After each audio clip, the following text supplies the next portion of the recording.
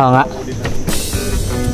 So mga master, nakahuli tayo ng ano, ito oh, ng catcher kung tawagin dito o sniper. Pero ang tawag po dito archer fish or dito naman ang tawag nila uncle kamidling.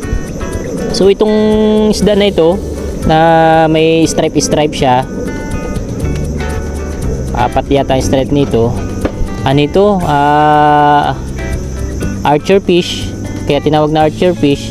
Pag may mga insekto yan sa bakawan nakapatong sa bakawan yan yung target niya. Kahit gaano kataas yan. So pag inano nila ng kanilang yung tubig inano nila parang dinuraan nila. Pag malaglag yun yun na yung pagkain nila. So nahuli natin mga master. Malaki din siya oh. Siguro mga apat na daliri din yung lapad.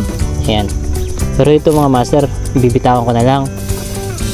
Bitawan na lang natin. So ano ito? Ah hustler ito pag mag target ng ano?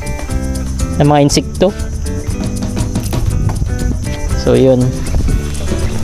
Kaya nating pakawalan. Mm matigas lang nga yung kaliskis nito ang ano dito ihaw. Dito ihaw. Mataba ito mga master. Eh ano na natin kasi nakaluban na rin tayo. Ayan mga master oh, may archer fish. Na ano niya yung ano yun oh yun. Yun.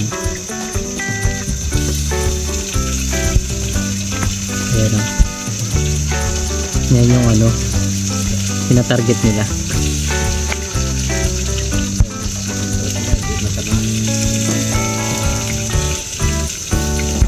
Mamaya kikita natin yung tubig niyan.